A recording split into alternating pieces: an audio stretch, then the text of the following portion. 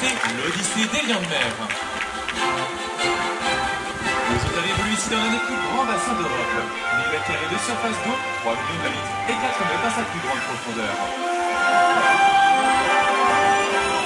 Je vous demande d'accueillir nos jeunes otaries, Paco et Nel, ainsi que leurs soigneurs, Béranger et Jessica.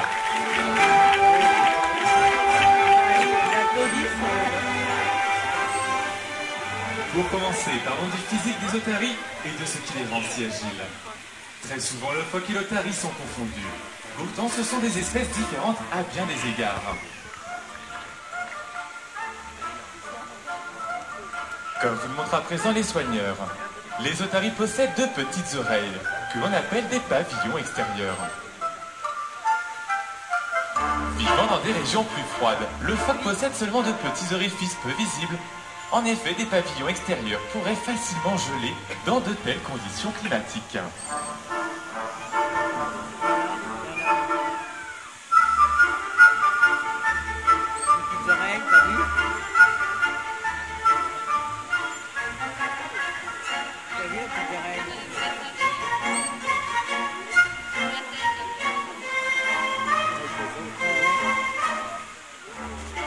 Deux paires de nageoires du phoque présentent des griffes, alors que chez l'otarie, seules les nageoires arrière en possèdent.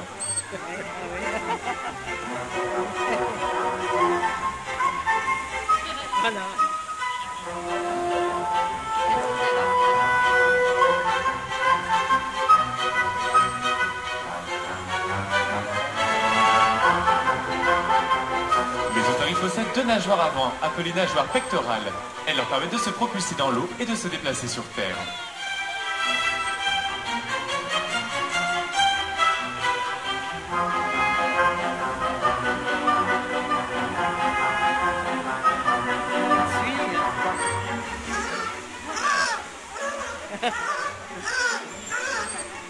Sachez que le phoque grogne, tandis qu'il est dit que l'otarie aboie tel un chien. Oui. La communication sonore est très importante pour ces animaux. Les vocalises très complexes peuvent permettre au mâle de protéger son territoire, ou au petit à sa mère de se retrouver lorsque cette dernière s'éloigne en quête de nourriture.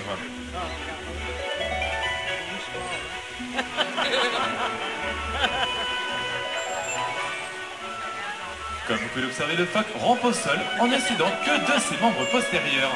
Voici une très belle imitation. L'otarie utilise quant à elle ses quatre membres pour se déplacer, pouvant même atteindre la vitesse de 25 km/h.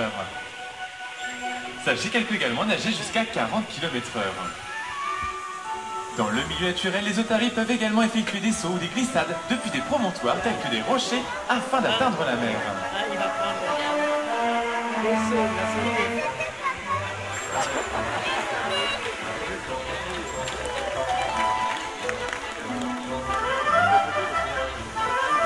Son corps est puissant et agile, ce qui lui permet d'adopter des postures acrobatiques.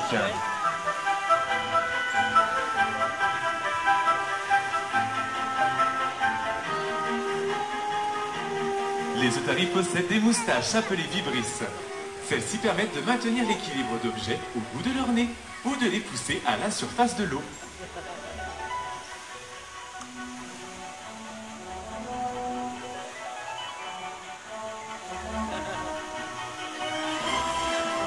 Ces vibrisses sont très souvent utilisées lors des contacts sociaux, entre une mère et son jeune ou entre un mâle et une femelle. Elles permettent également de sentir les vibrations de l'eau provoquées par le déplacement d'une proie ou d'un prédateur.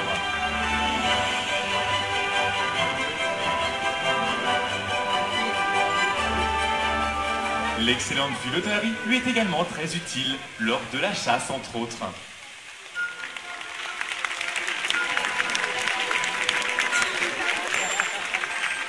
Lorsque l'on observe une otarie, ce qui frappe souvent est la taille des yeux par rapport au corps de l'animal, aussi grand que ceux d'un bœuf. Ainsi même, dans les eaux sombres des profondeurs, une otarie parvient à repérer sa proie.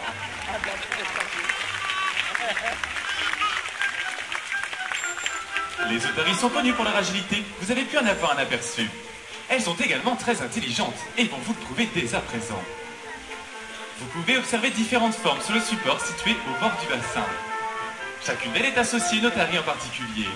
Il va vous falloir en choisir une et le soigneur demandera à l'otarie concernée d'aller la toucher. Sachez que l'étoile est pour Nel, à gauche avec Béranger. Quelques applaudissements peut-être. Et le rond est pour Paco, à droite avec Jessica.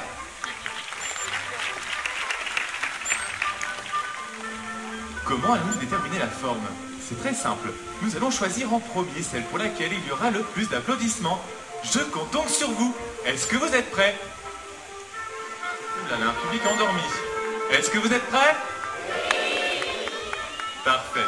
Quels sont ceux qui souhaitent choisir l'étoile?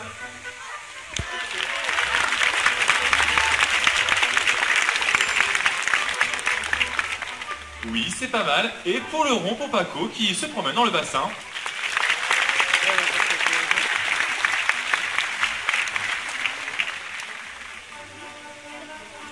Bon, c'est un choix difficile, mais j'ai l'impression que c'est l'étoile. À toi de jouer, Nel.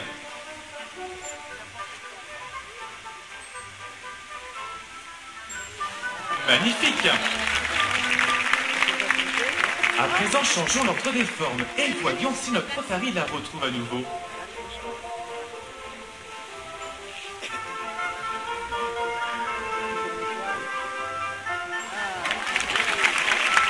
Deuxième essai réussi. Mais pour ne pas faire de jaloux, faisons également participer Paco. Je vous rappelle qu'il doit aller toucher le rond.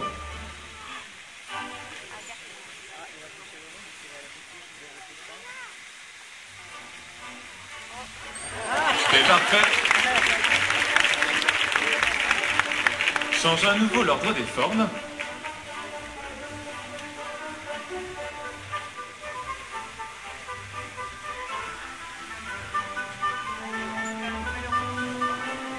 Bien Paco, qu'est-ce qui t'arrive? Quelques applaudissements pour l'encourager peut-être.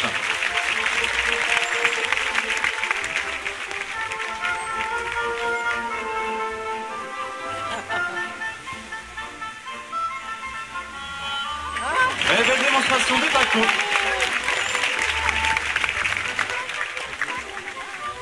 Quelques applaudissements bien mérités pour nos deux otaries. Dans l'eau. Les soigneurs passent beaucoup de temps à observer les animaux. Les otaries peuvent être en train de jouer, de se reposer. Cela permet aux soigneurs de repérer des comportements intéressants, car amusants ou ludiques par exemple.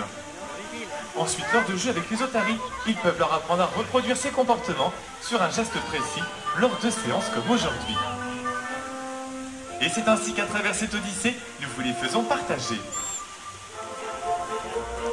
Et maintenant, parlons d'un sujet qui nous tient particulièrement à cœur à Beauval, la protection de l'environnement.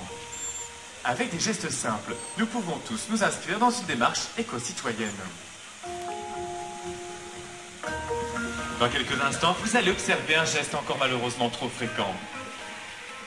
De tels gestes contribuent à la pollution de notre planète.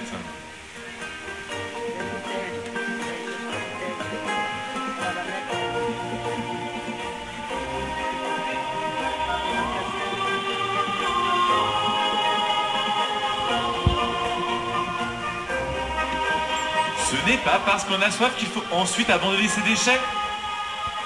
Ah, vous avez raison de vous cacher. Celles et ceux qui jettent leur détritus dans la nature devraient avoir honte. Dans la mer, il arrive que les otaries confondent des déchets avec leur proie et les avalent. Cette intoxication ne concerne pas uniquement les otaries, mais aussi d'autres animaux, marins comme terrestres.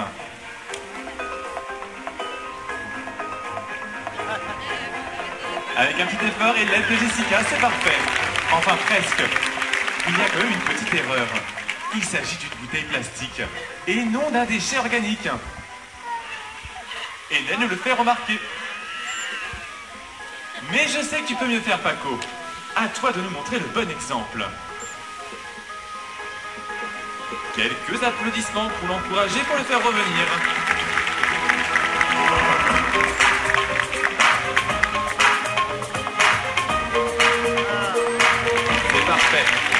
Plus jeune âge, le plus sélectif est un geste adopté au quotidien. Peut-être déjà à la maison, avez-vous de bonnes habitudes que nous encourageons ici à Beauval.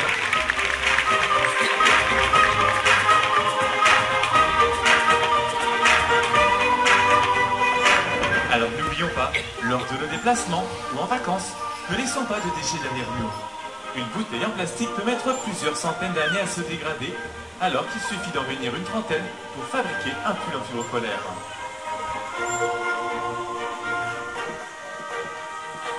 Vous pouvez remarquer le corps fuselé de ces animaux. Efficaces et rapides, ils peuvent effectuer toutes sortes d'acrobaties sur terre, mais aussi dans l'air.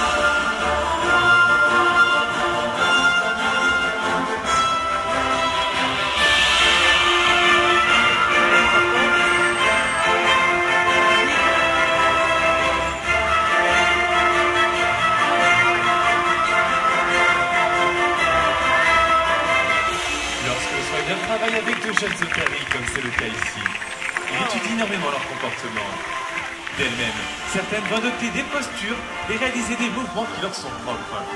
lors de jeu, elles développent en réalité leur capacité physique.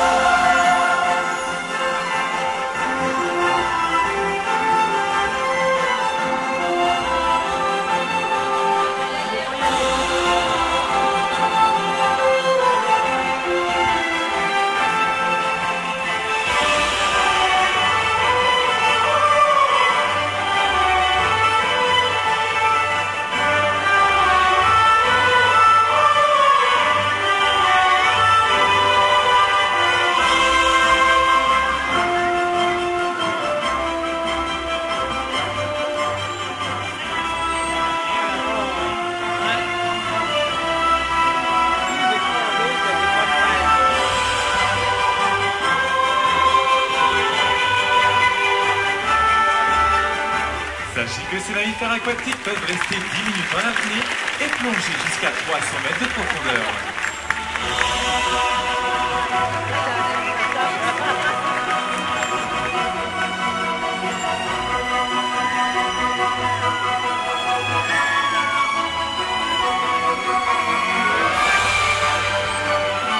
La relation particulière qui existe entre l'otarie et le soigneur permet la réalisation d'entraînements médicaux afin de faciliter d'éventuels soins vétérinaires.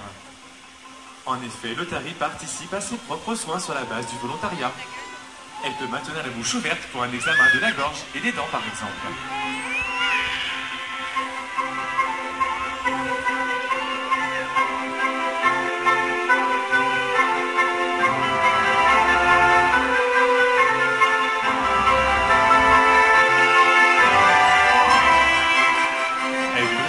Nageoire pour une prise de sang.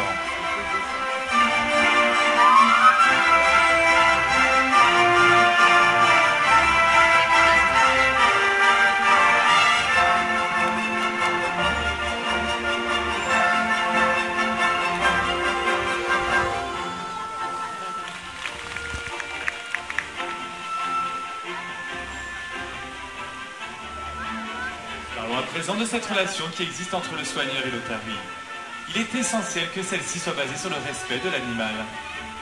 Des échanges quotidiens entre l'otarie et le soigneur permettent de créer un lien particulier, chaque jour renforcé par une complicité naissante.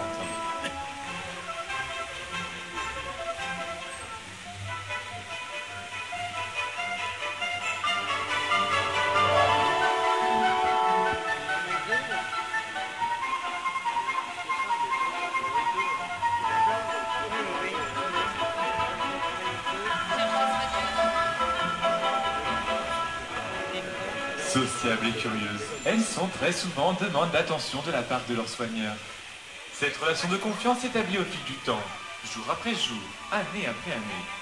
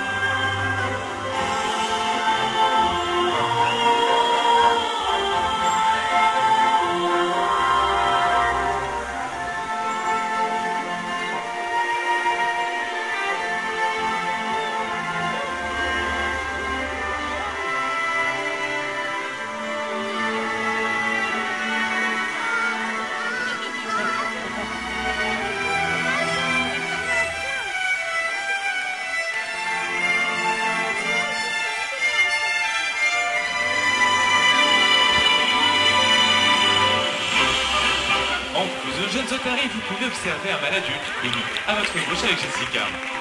Il pèse environ 215 kg. À maturité sexuelle, les mâles sont en effet nettement plus imposants que les femelles, qui elles ne dépassent pas 100 kg.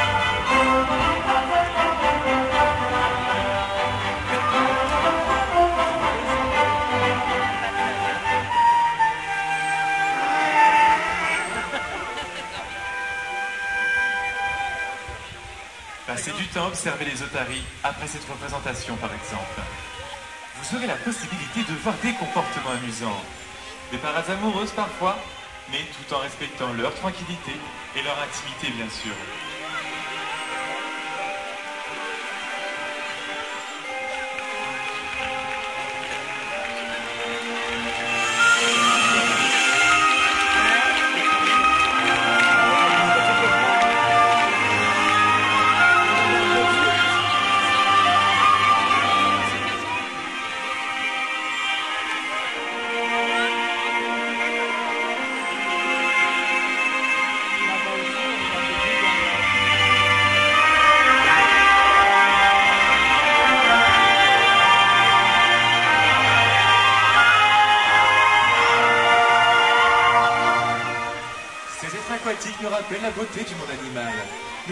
Ensemble les protéger. N'oublions pas qu'à la maison, lors de promenades à la mer, à la montagne ou ici, au zooparc de Beauval, chacun de nos gestes compte.